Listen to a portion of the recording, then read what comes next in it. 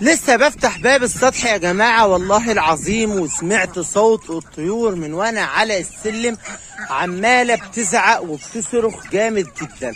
الوز عمال بيزعق والبط بيزعق والرومي بيكركر وزي ما أنتم سامعين كده الطيور كلها عمالة تزعق.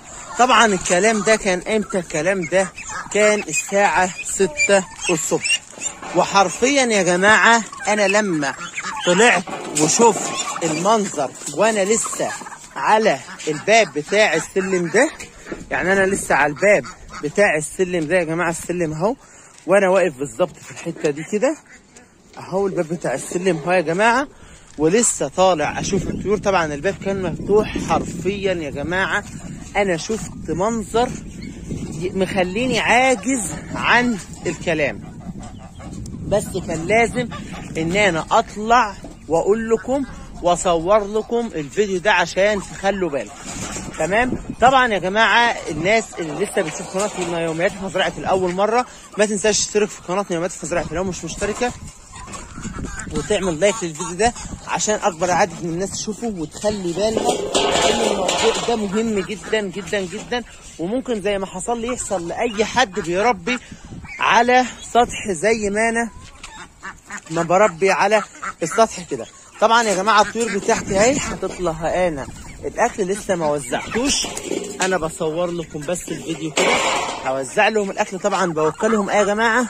بوكلهم العلف اللي هو أحسن أنواع العلف اللي أنا بحطه لهم اللي هو العيش المبلول. أهو بلل لهم أنا العيش. طبعا آه، بحطه في الم... في البتاعه دي كده. أهو.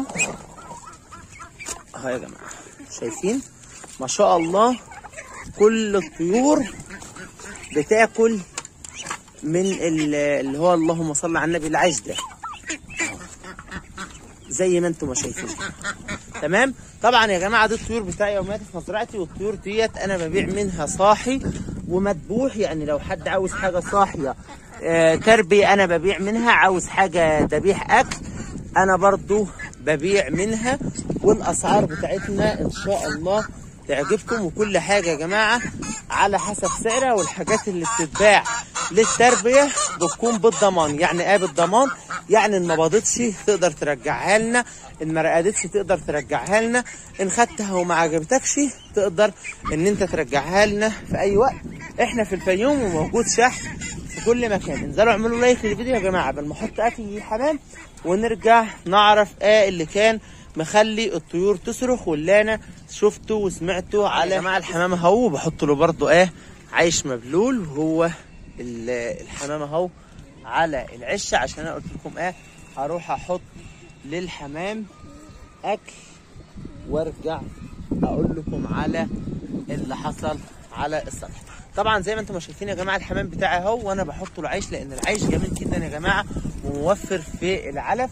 وكمان بيزود معايا الوزن بيزود إنتاج البيض وحرفيا يا جماعة ولا بيعمل ديدان للحمام ولا بيعمل ديدان للفراخ ولا بيعمل ديدان لأي حاجة خالص. المهم إن أنتوا تحطوه طازة بطازة يعني ما تخلوهش يعوق قدام الطيور ويقف عليه دبان. لما بيعوق قدام الطيور يا جماعة ويقف عليه آه، دبان الدبان ده بي بيكون واقف على الزبالة وكده فبيجي يقف تاني على العيش فبيخليه يجيب أمراض. لكن زي ما أنتم شايفين كده أنا حطيت شوية للحمام. طبعا أنا ما بحطش في أطباق أنا بحطه على الأرض كده. وهوت يا جماعة الحمام كل تعالوا بقى نرجع للطيور الكبيرة. طبعا يا جماعة الطيور الكبيرة بتاعتي هي كل الناس اللي متابعة القناة عارفاها والناس اللي مش متابعة القناة. عشان ما أطولش عليكم برضه هو الحاجة المشهورة اللي عندي هو الديك الرومي التركي ده. أنا طالع يا جماعة آه، أنا أنا بتمشى كل يوم الصبح ساعة الساعة 4 الفجر. علشان آه، بتمشى يعني عشان أنزل شوية في الوزن تمام؟ وأنا بتمشى يا جماعة الساعة 4 الفجر رحت مشيت رجعت الساعة خمسة ونص بالظبط طالع على السلم بتاعنا لأن طبعا إحنا في ال- في السادس والطيور في السابع تمام؟ سمعت الوز عمال يزعق جامد زعق طرق يعني الوز بيزعق زعق طرق. فبيني وبينكم رحت طالع بسرعة علشان أشوف الوز تمام؟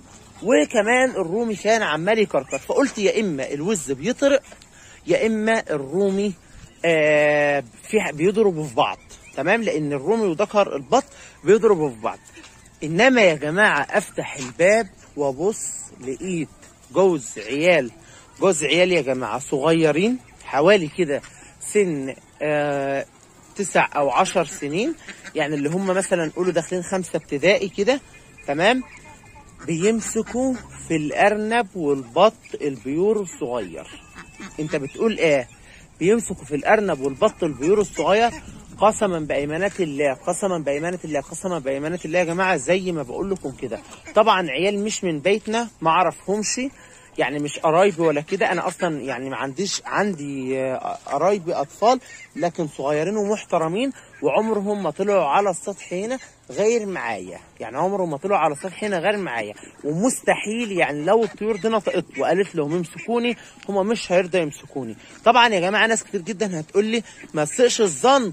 افرض هم كانوا طالعين مثلا بيلعبوا أو طالعين بيشوفوا أي حاجة أطفال صغيرة مش معقول إن هم يكونوا بيمسكوا الطيور. هقول لكم يا جماعة معاهم شوال معاهم شوال وكانوا حرفيا حاطين. آه المش... بيجروا بقى ورا آخر بطاية في البط البيور ده. يعني بي... كانوا واخدين البط البيور كله. والله العظيم ما كانوا بيجروا غير على آخر واحدة اللي هي دي اللي هي الرصاصي دي الرصاص الكبيرة دي. تمام؟ وحاطينهم كلهم في الشنطة. وكمان ماسكين ال- الأرنب لأن زي ما أنتم شايفين ما شاء الله الأرنب منطور في كل حتة. وطبعا يا جماعة أنا عندي الطيور بتاعتي. الساعة آه، 6 الصبح بتكون جيعانه جدا وبتكون واقفة مستنية أي أكل أو أي حاجة عايزة إن هي تاكلها. فمتخيلين يا جماعة إن أطفال تطلع تسرق؟ أنا آسف بس هما بيسرقوا. يسرقوا مكان ما يعرفوش معقول؟ والله يا جماعة قسما بالله إحنا بقينا في دنيا غريبة الشكل. أنا والله ما متخيل. أما دول تسع سنين أو عشر سنين وبيعملوا كده. أمال لما يكبروا. ومعلش يا جماعة مرة آه سرقوا كده. المرة الجاية الله أعلم هيسرقوا إيه. طبعا يا جماعة أنا ما كانش ينفع أصور لأن يعني من. يعني ربنا سترهم فخلاص مش مش هاجي أنا وأفضحهم. تمام؟ لكن طبعا أنا ما ما سبتهمش غير لما عرفت أهاليهم. وعلى فكرة يا جماعة أنا مصورهم مصورهم فيديو مصورهم فيديو هم آه بيحطوا ال- الطيور في الشنطة لأن طبعا يا جماعة أنا بقول لكم إن أنا كنت بمشي كنت بتمشى فبتمشى واخد معايا التليفون وبرضو اللي كان مخليني طالع وبقول ممكن ألاقي الرومي بيضرب الذكر البط أو الوز بيطرق. سامعين الوز بيزعق أو أو الوز بيطرق فقلت في تلك الحالتين هصورهم. صورتهم يا جماعة ورحت وريتهم لاهليهم المغزى والمراد من الفيديو يا جماعة إن أنتوا تخلوا بالكم على طيوركم وكمان يا ريت يا جماعة يا ريت يا ريت يا ريت لو شفنا أي حد ابننا أو أي حد بيعمل حاجة زي كده أو بيمد على بيمد إيده على أي حاجة لو حتى قليلة نعرفه إن ده غلط إن ده حرام إن الحاجة دي مش بتاعتنا. وبربنا يا رب يهدي الجميع يا جماعة وخلي بالكم من حاجتكم وهو ده اللي حصل معايا على السطح.